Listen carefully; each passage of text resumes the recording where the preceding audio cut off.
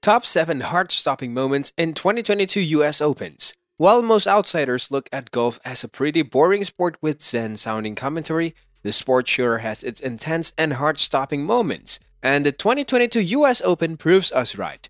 The 122nd US Open impressed all the viewers and was a great event that brought new fans' interest in golf. Welcome to the channel, and today we will look at some of the biggest heart-stopping moments from 2022.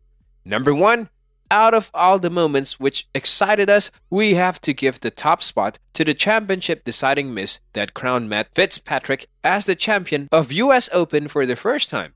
At first, it looked like everything was set for Will Zalatoris as he was one putt away from winning the championship. But you can never guess what is gonna happen. And that was exactly happened to him. He missed his shot, destroying his championship dreams and crowning his competitor as the champion. Fitzpatrick was emotional after his first championship win, and the crowd's reactions made this one one of the most memorable things of the year. Number 2. Even though he returned as a defending champion and had some critical experience, Jon Rahm's way into T3 looked rather grumpy and surprised everyone. He went on to the 18th hole at 5 under with his lead, where he learned how slight mistakes could change the course of the game. He was unsuccessful in his attempt to clear the ball from the lip of the fairway bunker on 18. And after two shots, he was back in the bunker again and walked out with a double bogey. Number 3. The fans quickly noticed that Cameron Young was not having a very good day by the end of the day too. And the fans were not so quick to expect much when he shocked the world with his hole-in-one shot. This was one of the most well-executed shots and lifted the moods of everyone, from spectators to Young himself and his team. He aced a par 3 and 6 from 165 yards, which made it special. Even though he may not be good at giving high fives, he is good at making some good heart and show stopping shots. Number 4. It surprised many people that the 2020 world champion Bryson DeChambeau had a not so great week. It is no surprise that Bryson had hand surgery very recently and shot a 5 over 75 in the final round. He finished 13 and was tied for 56 when he walked off 18. It was his seventh consecutive finish outside the top 25 in a major tournament. Number 5. Scottie Scheffler proved everyone wrong after he came up the leaderboard with a 67 on day 2 of the Masters Championship and was humanized for a slight mistake on the par 4 fifth.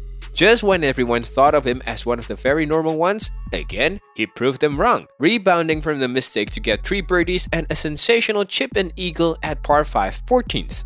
Everyone realized they were wrong and understood that he was more than a human.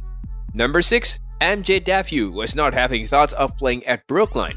He was a former wine salesman who earned his trade on the Korn Ferry Tour. He feared his PGA Tour card would be jeopardized if he competed in the final rounds and fortunately he earned his rookie PGA Tour card. On day 1, he introduced himself with a 67, and on day 2, he would make a bogey, followed by another one on the 15th, and a bad and disastrous double at the 18th. And he finally cut up and entered the weekend with T16 and his first ever maiden major. It was safe to say that it was one of the most unexpected things of the tournament and surely stubbed some hearts. Number 7 as the par 4 fifth served up a difficult position on the day 2 at Brookline, everyone had already written off Fred Biondi, but managed to shine in the heat of the moment. He shone the brightest of them all, with 163 yards in for the second, the rookie managed to shoot an inch-perfect shot, marginally carried the shot through the bunker, and by the time it reached the hole, it looked like poetry in motion. Alright, that's all for this video. Thank you for watching, and if you enjoyed it, smash the subscribe button and hit the bell icon for notified updates.